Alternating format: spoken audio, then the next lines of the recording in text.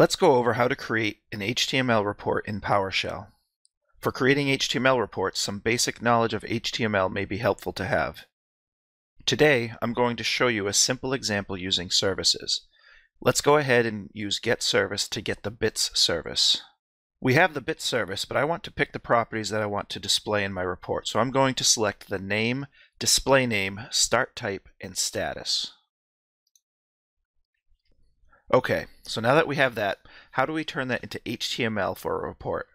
To do that, I'm going to use the convert to HTML cmdlet. Convert to HTML has a few parameters we can use to help us build a report. First, I'm going to use the as parameter.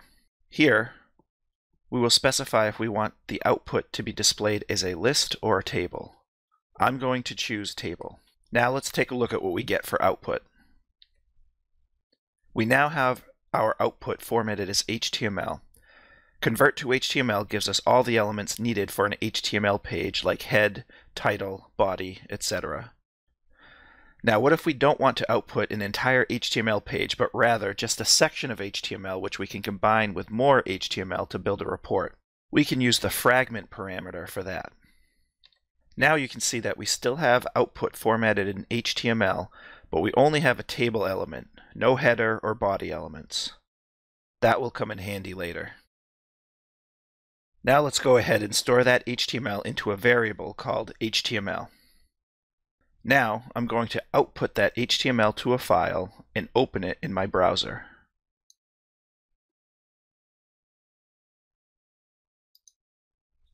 Here we have our HTML page with our table we just created. It seems to be missing something, so let's go back to the ISE. One of the other parameters we can use with convert to HTML is pre-content. Pre-content is used to specify some content you wish to appear immediately before the HTML fragment you are creating. Here I want to put a heading with the name of the service that we are displaying. This is where some HTML knowledge may come in handy. Now let's run this code again. Looks a little better with the heading, I think. In my next example, I'm going to expand on this by using an array to store my HTML fragments. Here, I'm creating a blank array, then I'm using plus equals to append the same code from my last example to that array. Next, I'm going to append HTML for the WinRM service using the same method. Except here, I'm going to add another parameter called post content. You can probably assume that this will do the opposite of pre-content. Instead of being added right before this fragment, it will be added right after the fragment. Here I'm just adding some italicized text to the end. Then I will output our HTML to a file and open it in my browser.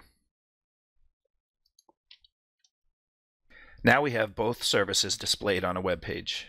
And here you can see my post content at the end. Now let's take what we've learned and apply it to a more advanced example. Here, I'm creating my blank HTML array and storing the computer name as a heading using the h1 tag. Then, I'm going to get the services on the computer, group them by start type, and sort them by their name. Let's take a look at what this looks like. This gives us a grouped list of services by the start type, automatic, disabled, and manual. Next, I'm going to use for each to go through each start type in services. Then I'm going to use plus equals to append the list of services for that start type, converted to HTML. I'm formatting this as a table fragment, and for the pre-content, I'm using a variable for the name of the start type in an h2 tag. When the for each loop ends, I'm now going to append the user who ran this and the date to the HTML in italics. Finally, I'm going to use convert to HTML to create my HTML page. But this time I'm doing it a little different.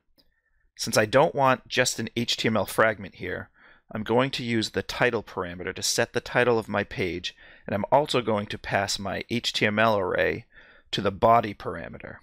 This will build us a full HTML page, which we can output to a file, or send as a body of an email.